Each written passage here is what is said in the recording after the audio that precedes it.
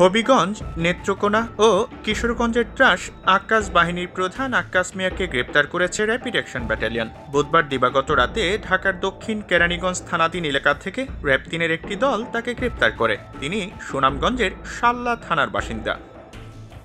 RAB বলছে যে আক্কাস মিয়া একজন পেশাদার খুনি ও ডাকাত। তার বিরুদ্ধে বিভিন্ন থানায় বারোটি মামলা রয়েছে দুই হাজার ষোলো সাল থেকে।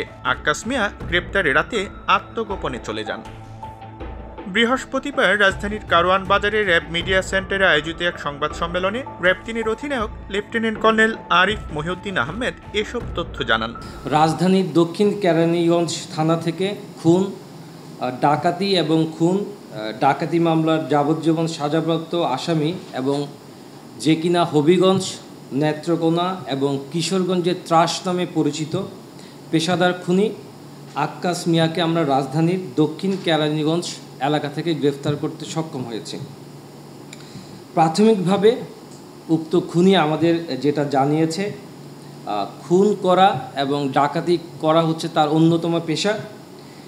অর্জিত টাকা দিয়ে, সে খুনের টাকা দিয়ে কিংবা ডাকাতি থেকে অর্জিত অর্থ দিয়ে সে নেশা করে এবং বিভিন্ন ধরনের অসামাজিক কর্মকাণ্ডে সে জড়িত ছিল। সে প্রাথমিক জিজ্ঞাসাবাদে সেটা আমাদের কাছে স্বীকার করেছে। র্যাবের এই কর্মকর্তা বলেন, আক্কাসের বিরুদ্ধে দুই হাজার ছয় সাল থেকে দুই হাজার ষোলো সাল পর্যন্ত খুন, ডাকাতি, খুনসহ ডাকাতি, চুরি, মারামারি, লুটপাট, দাঙ্গা হামলা সহ বারোটি মামলা রয়েছে। এছাড়া সুনামগঞ্জের সাল্লা থানায় একটি সাজা ওয়ারেন্ট সহ মোট ছয়টি ওয়ারেন্ট তামিলের অপেক্ষায় রয়েছে। আক্কাস এবং তার যে বিশাল একটি বাহিনী ছিল, সে বাহিনীটা বেসিক্যালি মারামারির সে ভাড়ায় মারামারি করত। উক্ত মারামারিতে প্রতিপক্ষের তিনজনই ঘটনাস্থলে মৃত্যুবরণ করে।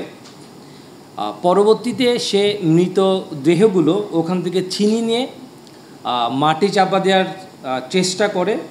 পরবর্তীতে শাল্লা সুনামগঞ্জ থানায় একটি মামলা দায়ের করা হয় এবং শাল্লা থানার খুনের সহযোগিতা করা এবং মারামারিরও তার একটি টোটাল সর্বমোট তিনটি কেস তার নামে রয়েছে।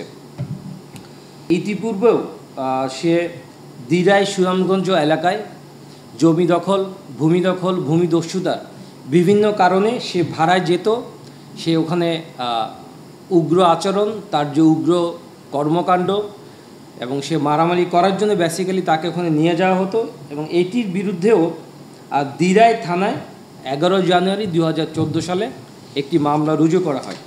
সংবাদ সম্মেলনে জানানো হয় যে দুই হাজার উনিশ সালে নেত্রকোনায় খুনসহ ডাকাতি মামলায় তার যাবজ্জীবন সাজা হওয়ার পর তিনি কেরানীগঞ্জ এলাকায় ইটভাটায় তার স্ত্রীর কাছে আশ্রয় নেন। গ্রেপ্তার আসামিকে সংশ্লিষ্ট থানায় হস্তান্তরের প্রক্রিয়া চলমান রয়েছে বলেও জানানো হয়।